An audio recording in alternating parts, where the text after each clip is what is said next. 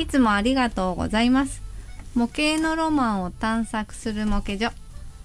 探索です。今回は松江市に住むプラモデル YouTuber の探索さんです。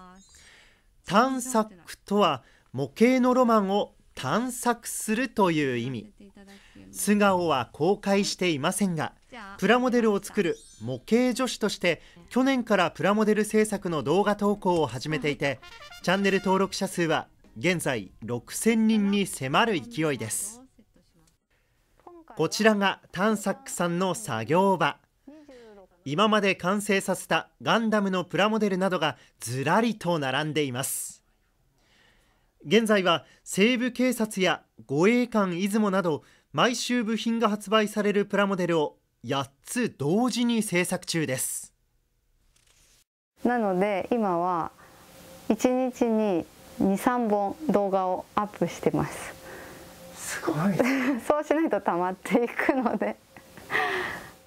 プラモデル制作の様子を撮影し1日23本の動画を公開さらに週2回はガンダムのプラモデルガンプラの制作を生配信しています。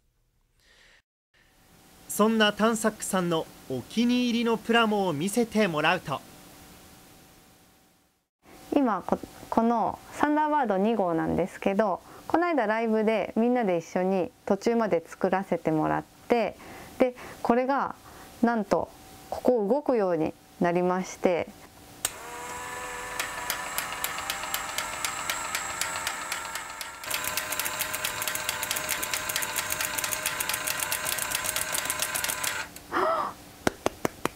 こんな感じで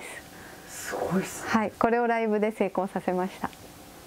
サンダーバードって55周年なんですけどこれが劇中と同じように動く模型っていうのはサンダーバードが初めてなのでそれが作れるっていうのはすごい。これだけ熱く語るということは制作も得意なのかというと多分苦手な方でちょっと難しい部分もたくさんまだまだあるなという感じです。実は探索さん模型の沼にどっぷりはまったのはここ1年ほどとのこと。そのため定期的に行うライブ配信では大切な部品を間違えて切ってしまうこともあり視聴者にアドバイスされながら完成へたどり着くこともあるそうです。ありました。なんか。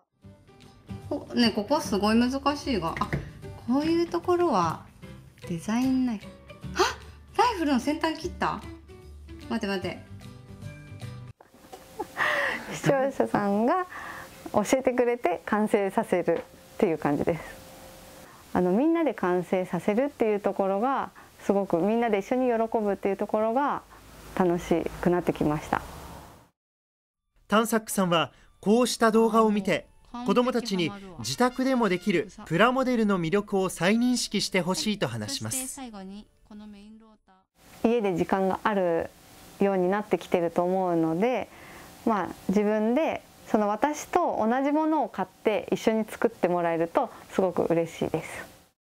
YouTube の活動によって山陰以外の人とも多くつながれるようになったという探索さん。